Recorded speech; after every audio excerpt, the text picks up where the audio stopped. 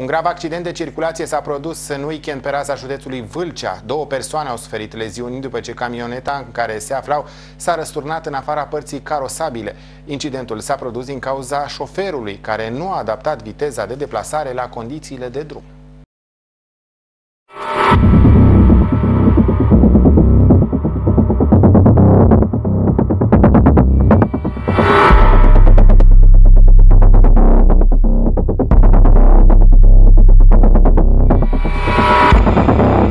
Evenimentul rutier a avut loc pe DN7 în afara localității Brezoi din județul Vâlcea. Șoferul camionetei nu a adaptat viteza de deplasare la condițiile de drum, a pierdut controlul volanului și s-a răsturnat. În camionetă se aflau două persoane, șoferul de 31 de ani și un pasager de 23 de ani, ambrii din Brezoi. La fața locului s-au deplasat oamenii legii și ambulanța. Conducătorul auto a fost testat cu aparatul etilotest, iar în urma controlului s-a demonstrat că acesta nu consumase alcool. După ce au efectuat verificările, oamenii legii au stabilit că în camionetă se transporta în mod legal material lemnos.